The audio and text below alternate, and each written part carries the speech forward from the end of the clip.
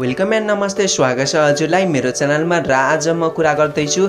एउटा एप्सको बारेमा कुरा गर्न चाहन्छु। जुन एप्सबाट चाहिँ हजुरले अब नयाँ नयाँ नेपाली मुभीहरू हेर्न सक्नुहुन्छ। कुन एप्स हो कहाँबाट हेर्न सक्नुहुन्छ यो एप्स भन्ने बारेमा सबै कुरा गर्न चाहन्छु। भिडियोलाई पुरा हेरेर साथ दिनु होला र च्यानलमा नयाँ हुन्छ भने चाहिँ च्यानललाई सब्सक्राइब गरिदिनु होला र भिडियो सुरु गरौँ। र सबै साथीहरूले चाहिँ भिडियो पसल आइफ्लेक्स फोपी एप्सबाट चाहिँ नयाँ नयाँ नेपाली मुभीहरू हेर्दै आउनु भएको छ होला। र अब चाहिँ नेपालमा चाहिँ एउटा नयाँ एप्स खुल्ने भएको छ। त्यो एप्समा चाहिँ अब नयाँ नयाँ नेपाली मुभीहरू चाहिँ अपलोड हुने भएको छ। र एप्सको नाम हो चलचित्र टिभी। चलचित्र टिभी चाहिँ यही जुन ट्वेन्टी फोरमा चाहिँ प्ले स्टोरमा चाहिँ चलचित्र टिभी आउने भएको छ।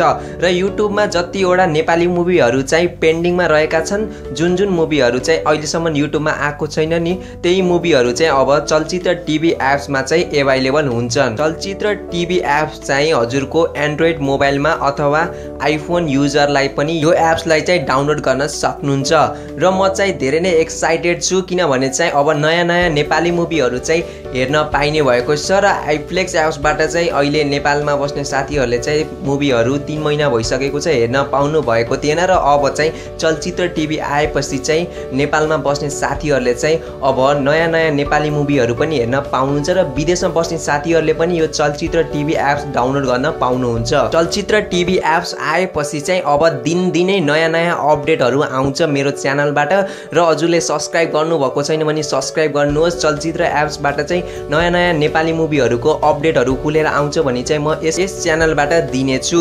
र चलचित्र एप्सबाट चाहिँ कति रुपियाँ पैसा तिर्न पर्छ भन्ने चाहिँ अझै कुरा निस्केको छैन र केही कुराहरू निस्किन्छ भने चाहिँ म हजुरलाई अर्को भिडियोमा भन्नेछु र यो चलचित्र एप्सको राइट्स चाहिँ कोसँग बिकेको छ भन्ने बारेमा पनि अरू भिडियोमा त भन्नेछु र हजुरलाई कस्तो लागेको छ चलचित्र टिभी एप्स आउँदाखेरि हजुरलाई कस्तो लागेको छ कमेन्टमा आएर मलाई भन्न सक्नुहुन्छ र आजको भिडियो यति नै। भिडियो राम्रो लागेर च्यानल नयाँ हुन्छ भने च्यानललाई सब्सक्राइब गर्न चाहिँ नभुलिदिनु होला